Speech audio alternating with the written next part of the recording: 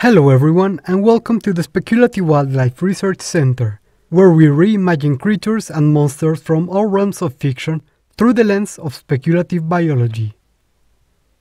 Today we will be taking another look at the ideas you guys have placed in the comments of our videos.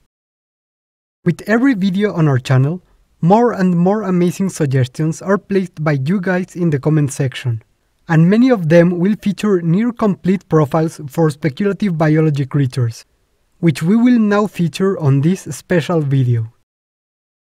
As last time, we will be drawing the creature suggested by the comments and giving some details on its biology and evolution, as well as explaining if, how, and why our version deviated from that of the original comment.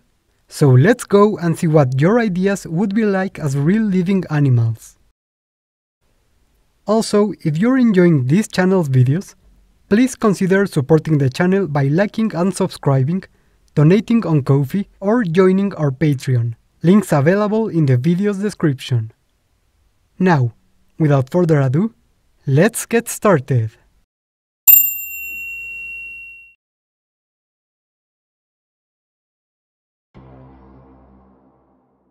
Our first research subject of the day is one that has been transformed into almost mythical figures thanks to their terrifying appearance and demeanor.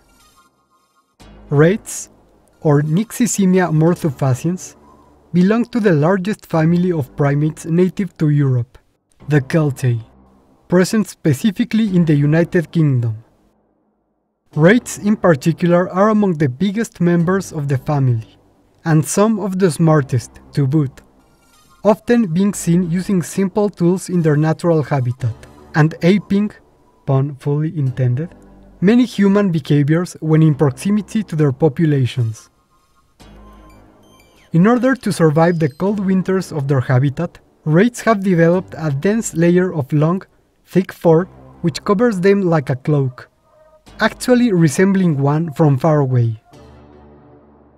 The hands and faces of these primates, however, will be completely devoid of fur, and colored a stark white to contrast with their dark cloak. This helps the faces and hands of wraiths to stand out from the rest of their body. A very useful thing, since these are the main ways these apes communicate with one another. The dark spots on their faces help accentuate their facial expressions further, with the added effect of making them resemble shrouded skeletons from far away. Wraiths will search for their food, fresh and not so fresh corpses, thanks to their keen sense of smell, which allows them to find food from miles away. Once they have tracked the smell of their meal, they will move incredibly fast, reaching prey as far as 20 kilometers or 12 miles in well under an hour. A lone wraith can strip a carcass to bones in a day, but a whole group will do it in a matter of minutes. Wraiths will often steal from human settlements out of curiosity, in a manner very similar to the American Grinch. While sometimes they will steal food, many times they will also take away clothes and tools, especially gardening and farming equipment that has been left unattended.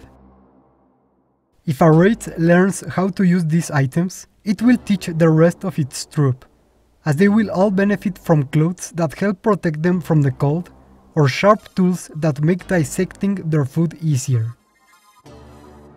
If wraiths were already terrifying as they are, the sight of a wraith wearing a long cloak and wielding a scythe is enough to kill anyone from fright on the spot. Over time, the species has managed to spread across the world by sneaking into ships, causing panic in whatever countries they arrive in.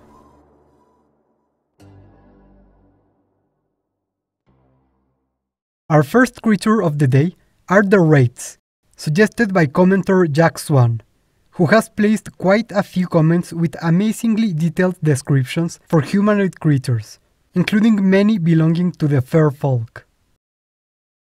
Wraiths are ghost-like apparitions, and the version described by Jack is so eerie and grounded, while still fully resembling their folkloric counterpart, that I knew I had to include it in the video. One thing I did adapt from the original comment was the part about wraiths having bald faces and hands due to being scavengers, as more recent research suggests baldness in certain scavengers is more related to thermoregulation than hygiene. Instead, I made the hairlessness related to communication, which is more in line with primate biology. However, I did try to keep as much as possible of Jack's amazing idea, and I hope you guys enjoyed it as well. Thanks a lot for the idea, Jack. Now, on to our next creature.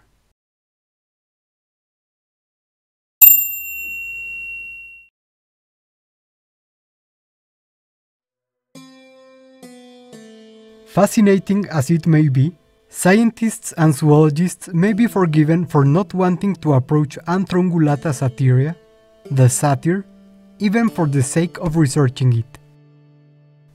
Evolved from similar stock as the alpine Krampus, the satyrs faced a similar evolution into bipedal herbivores that has transformed their front hooves into hand-like appendages, in order to better reach and manipulate food. However, this convergent evolution has not led to identical organisms, as both have adapted to their own particular environment. While the Krampus has evolved dense, shaggy fur to better withstand the cold, satyrs have evolved to resist the heat, developing a series of flattened structures that help cool their blood, including two large, fan-like ears and a fleshy facial protrusion above their nose. Their fur is also very sparse across certain parts of their body. Given their forest habitat, protection from direct sunlight is not as pressing an issue as it is in other types of goat, and this thinner fur helps them dissipate heat more easily. Despite their resemblance to the Krampus, satyrs are often much more aggressive than their mountain-dwelling cousins. While the horns of satyrs have been greatly reduced, as their usefulness for fighting in their new bipedal stance is much more limited, they can still be quite unpleasant. Whenever mating season arrives, satyrs will begin patrolling their territory, violently fighting their rivals by biting and kicking and displaying their organs to nearby females, or fighting and harassing anything that, to them, passingly resembles a rival or a female, respectively. While very bothersome, this undiscerning behavior ensures no males trespass on their territory and no chance to impress a female is ever lost.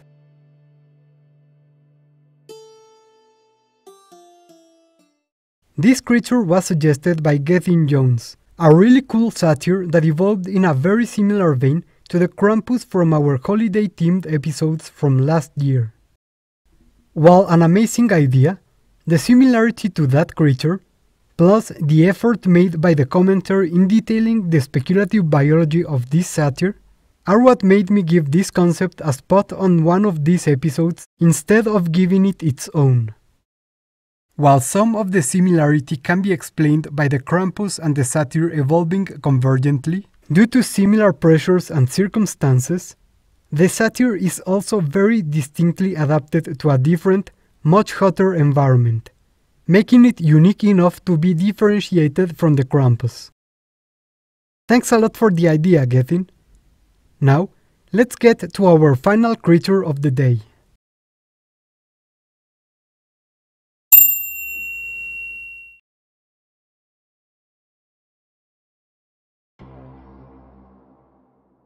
While the tragedy of humans infected by lycanthropy is undeniable, there are creatures out there in the world that, in the eyes of many, have earned the same name.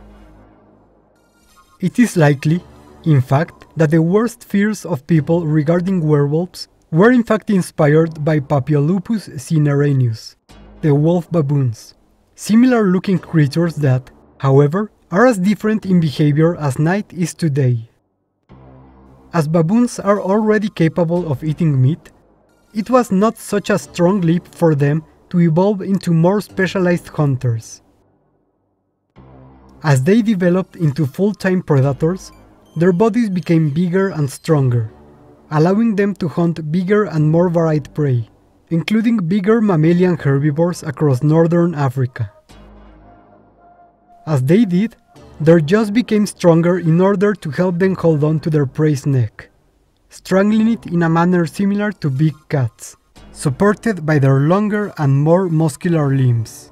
The anterior ones helping it catch their prey and hold it as they deliver their deadly bite, while their posterior limbs evolved for speed and strength rather than climbing. The ears of these baboons have also become longer and cup-shaped, allowing them to more easily track their prey in the dark of the night. These terrifying predators evolved long ago, when humanity was still in its infancy, and started following the migrations of hominids as they did, giving shape to the first primal nightmares of our kind. While humanity was a force to be reckoned with, lonely, scared individuals in the dead of the night were a very different matter easily picked off before anyone had noticed the wolf baboons roamed near. As they moved north, these animals developed a denser fur coat that allowed them to resist this new, colder climate, and a change in coloration allowed them to blend into the forests they now inhabited.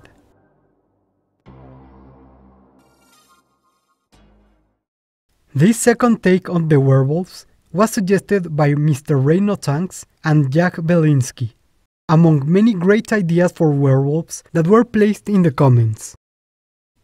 It is clear there are lots of ways to imagine werewolves stalking our world, and this one is much more focused on the terrifying predator aspect than on the cursed human one, both great sides of the creature to work with.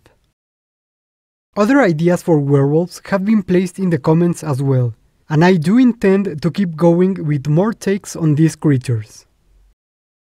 Regarding this one, I took the concept for a werewolf-looking baboon almost unchanged. Something easy given the anatomy of these primates is already eerily similar to that of a werewolf, including their long, canine-looking jaws. It was a very fun concept to work on, so thanks a lot for the ideas, Jack and Mr. Reno.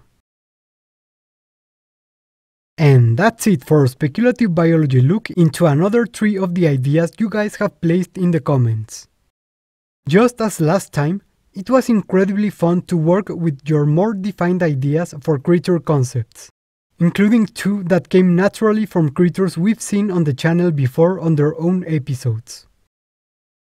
I had a lot of fun doing this episode, and I'm very happy to be honoring some of your ideas in such a special episode as this one. Working on the videos for this channel has been a ton of fun, and I'm very grateful for all of you guys watching, giving great ideas and helping the channel grow. Remember, all of your ideas are greatly valued, and are bound to end on the channel in one way or another. So if you have any full-blown speculative biology concepts for mythical and fictional creatures, or just any ideas for creatures you would like to see me draw and talk about on the channel, as always, mention them in the comments below. Thank you all so much for watching, and see you next time on the Speculative Wildlife Research Center.